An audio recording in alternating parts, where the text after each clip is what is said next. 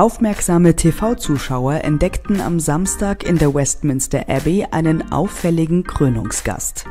Ein Twitter-User stellte daraufhin die Behauptung auf, dass es sich dabei um die verkleidete Herzogin Meghan handelte.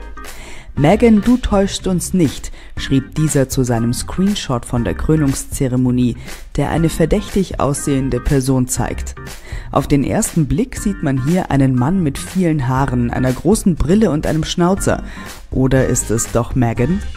Das Netz amüsiert sich sehr über den Herrn, der verdächtig an typische Verkleidungen aus TV-Sendungen wie Verstehen Sie Spaß erinnert. Doch wer steckt nun wirklich unter der grauen Haarpracht? Tatsächlich handelt es sich bei dem Mann, der neben dem legendären Musical-Komponisten Andrew Lloyd Webber in der Westminster Abbey Platz nahm, um Sir Carl Jenkins.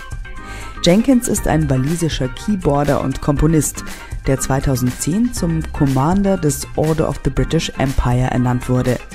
König Charles III. ist offenbar ein Fan seiner Musik und hat bei seinem Krönungsgottesdienst ein Stück von ihm spielen lassen. Damit ist klar, das Gerücht um eine Verkleidung ist nicht wahr. Herzogin Meghan war nicht heimlich bei der Krönung dabei. Eigentlich schade, denn dieser Auftritt wäre sicherlich als einer der skurrilsten in die Geschichte des britischen Königshauses eingegangen.